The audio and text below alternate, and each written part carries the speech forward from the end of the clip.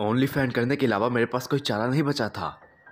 और ना ही मेरे पास कोई जॉब थी, और ना ही मेरे पास कुछ पैसे थे, जिसकी वजह से मैं काफ़ी ज़्यादा परेशान थी। और ये जुमे का दिन था, जिस दिन मैं तैयार होकर ओनली फ़ैन पर लाइव आई, और मैं लोगों के डीएम्स चेक करने लगी, जिसमें से एक आदमी ने मुझे मैसेज भेजा हुआ था। मुझे जवाब दो, अगर तुम्हें एक हज़ार डॉलर चाहिए तो ये लूसीफर ने भेजा हुआ था।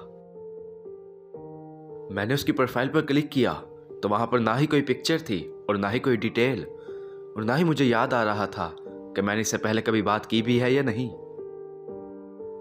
मैं किसी को जवाब नहीं देती थी, सिर्फ़ लाइव करती थी। लेकिन इतने ज़्यादा पैसे देखकर मैंने उस आदमी को जवाब दे दिया और पूछा कि तुम्हें क्या चाहिए? और उसका जवाब आया कि मुझे कुछ बनवाना है। मैं हैरान होकर देखने लगी और मैंने पूछा, क्या? क्या तुम मज़ाक कर रहे हो? नहीं, मैं सीरियस हूँ। मेरे लिए एक पिक्चर बनाओ। बदले में एक हज़ार डॉलर दूँगा। मुझे काफ़ी ज़्यादा हैरानी हुई, क्योंकि एक पिक्चर के लिए इतना पैसा कौन देगा? और आज तक ओनली फ़ैन पर किसी ने इतना पैसा नहीं दिया, इसलिए मुझे शक होने लगा। और मैंने उससे कहा कि मैं एक आर्टिस्ट नहीं हूँ, मैं नहीं बना सकती।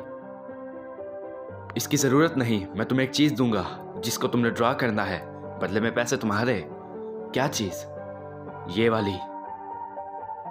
ओपन करने से पहले मुझे लग रहा था कि कोई अच्छी सी पिक्चर होगी, लेकिन जैसे ही मैंने ओपन किया तो वो एक पुरानी बुक का कोई कवर था, जो कि काफ़ी ड्रामना लग रहा था। और उसमें एक आँख बनी हुई थी, जो कि नीली थी।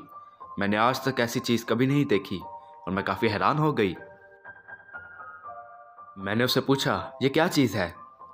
लेकिन वो वहाँ पर नहीं था, और ना ही वो ऑनलाइन आया। मैं काफ़ी हैरान हो गई। लेकिन एक हज़ार डॉलर्स को देखकर मेरा लालच बढ़ने लगा। और मैं सोचने लगी कि यह इतना मुश्किल काम नहीं है, क्यों ना मैं कर ही लूँ? तो इसलिए मैंने उसे पूछा कि तुम चाहते हो कि मैं इसको ड्रा करूँ? और उसका जवाब आया, नहीं, तुम इसको फर्श पर ड्रा करो, चौक के साथ। सच में? क्या कोई मज़ाक नहीं? नहीं, ये मज़ाक नहीं है। और उस आदमी ने पंद्रह डॉलर्स मेरे अकाउंट में भेज दिए। और इससे मुझे यकीन हो गया कि ये आदमी कोई मज़ाक नहीं कर रहा। मेरे पास चौक नहीं है। लेकर आओ जल्दी। मुझे काफ़ी अजीब लगा और मैं इधर उधर ढूँढने लगी। लेकिन फिर मुझे अपने टेबल पर एक पेंसिल मिली। लेकिन पेंसिल इस काम के लिए सही नहीं लगी, इसलिए मैंने पीछे देखा तो वहाँ पर कोई भी नहीं था। तो इसलिए मैं अपने रूम में गई। तो वहाँ मुझे एक बैग मिला, जिसमें एक मार्कर था, और मुझे लगा कि ये काम करेगा। इसलिए मैंने मार्कर ले लिया, और वापस आकर पूछा कि क्या ये सच में काम करेगा? और उस आदमी ने जवाब दिया हाँ जब तक मैं इसे देख सकूँ, और पिक्चर बड़ी बनाना। उसका ये बिहेवियर काफ़ी अजीब लगा, लेकिन मैंने उसको कहा कि चलो ठीक है, मैं बना रही हूँ। उस आदमी ने पिक्चर मेरे मोबाइल पर भेज दी, जिसको देखकर मैंने बनाने की कोशिश शुरू कर दी और मैंने कारपेट हटाया और बनाना शुरू कर दिया। और काफ़ी देर बनाने के बाद वो काफ़ी अच्छा लग रहा था। मैंने लाइट्स ऑफ़ कर दी और दो से तीन पिक्चर्स ली ताकि मैं उसको भेज सकूँ और मैंने वो उसको भेज दी। मैंने उससे पूछा, कैसा लगा? लेकिन उसका जवाब नहीं आया। मैं हैरान हो गई। लेकिन कुछ समय बाद मेरे अकाउंट से एक नोटिफिकेशन आया, जब मैंने देखा तो एक हज़ार डॉलर मेरे अकाउंट में थे। और उसका जवाब आया, यस, तुमने काफ़ी अच्छे से किया। मैं ये सुनकर काफ़ी खुश हो गई। मुझे इस बात की खुशी थी कि इतना छोटा काम करके मुझे इतना ज़्यादा पैसा मिला। और मैंने उसे जवाब दिया कि मुझे खुशी है कि तुम्हें यह पसंद आया। लेकिन उस पिक्चर की वजह से मेरा फ्लोर काफ़ी अजीब लग रहा था। लेकिन मैंने उसको इग्नोर किया और दोबारा से लाइव आ गई। और वहाँ वो आदमी आया। उसने कहा, क्या तुम पाँच हज़ार डॉलर कमाना चाहोगी? मैंने कहा, क्या चार हज़ार और? नहीं, पूरे पाँच हज़ार. यह सुनते ही मैंने लाइव स्ट्रीम हटा दी और वहाँ पर जाकर उसने जवाब दिया, तुम्हारे लिए सब कुछ करूँगी लूसीफर वाह मैं ये चाहता हूँ तुम मेरे लिए कुछ बोलो वीडियो टेप में. यह सुनकर थोड़ा सा अजीब लगा, लेकिन मैंने उसे पूछा, कि तुम्हें क्या सुनना है लूसीफर और मैं इस बिहेवियर में इसलिए बोलती हूँ, क्योंकि मेरे क्लाइंट्स को ये काफ़ी अच्छा लगता है, और कुछ समय बाद उसका जवाब आया, जो कि काफ़ी ज़्यादा अजीब था। वो कोई जादू मंत्र जैसा लग रहा था, और वो भेजी जा रहा था। और उसने कहा कि इनको तीन मरतबा पढ़ो। वो वर्ड्स काफ़ी अजीब लग रहे थे, इसलिए मुझे कुछ शक होने लगा। लेकिन फिर मैं सोचने लगी कि शायद लोग ऐसे करवाते होंगे। तो इसलिए मैंने सोचा कि क्यों ना कर लूँ। लेकिन उसी समय उसका जवाब आया, प्लीज़ मेरे लिए करो। और उसी समय उसने पाँच हज़ार डॉलर मेरे अकाउंट में भेज दिए, और वो कहने लगा, मुझे इसकी ज़रूरत है। और वो कहने लगा, मैं तुम्हें पाँच हज़ार और दूँगा। ओह, सच में? अब तो मैं रुक ही नहीं सकती। मैंने अपना मोबाइल उठाया और वो जादू मंत्र पढ़ना शुरू कर दिया।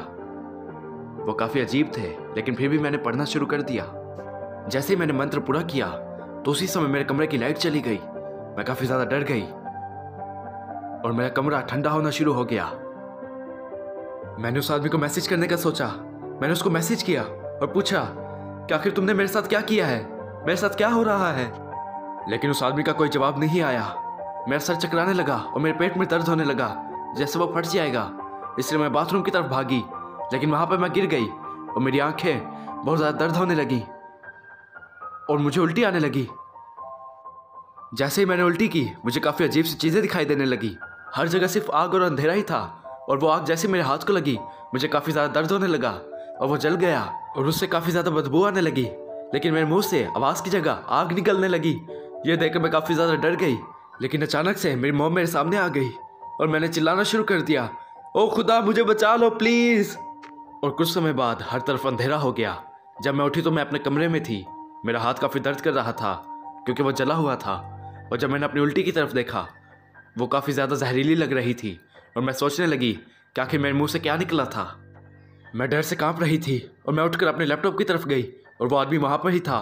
उसने काफ़ी ज़्यादा मैसेज भेजे हुए थे और वो कह रहा था, क्या तुमने वहाँ देखा?